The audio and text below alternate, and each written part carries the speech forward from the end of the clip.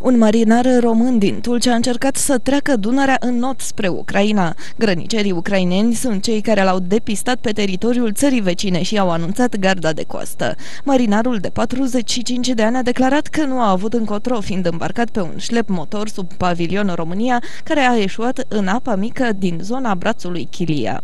În zona uh, brațului Chilia, uh, polițiștii de frontieră din cadrul gărzii de coastă au identificat o persoană care nota spre malul uh, Ucrainei. În cooperare cu grănicerii Republicii Ucraina s-a acționat pentru reținerea și identificarea persoanei în cauză, care s-a dovedit a fi un marinar român, angajat pe un șlep plutitor sub pavilion România.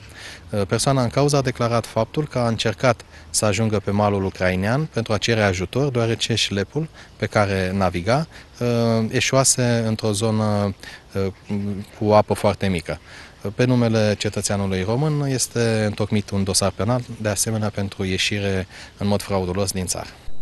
Alți trei migranți au fost prinși în apropierea localității Dobromir Deal, lângă frontiera cu Bulgaria. Doi dintre ei sunt frații de origine afgană, iar unul de cetățenie irachiană. Aceștia le-au declarat oamenilor legii că au fost ajutați de călăuze bulgare pentru a trece granița în România, unde urmau să-și găsească de muncă.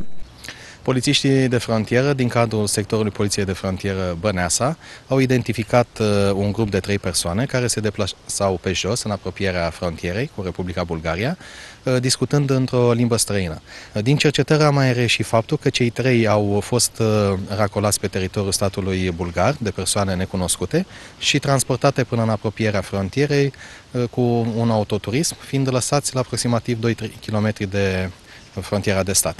La adăpostul întunericului ei au trecut uh, frontiera printr-o zonă verde, cum îi spunem, printr-un loc nepermis, uh, dorința lor fiind să ajungă în uh, spațiul Schengen pentru a munci. Cei trei sunt cercetați pentru trecere ilegală a frontierei de stat, urmând ca procurorul de casă dispună măsurile legale ce se impun. În total, polițiștii Gărzii de Coastă au întocmit patru dosare penale pentru trecere ilegală a frontierei de stat.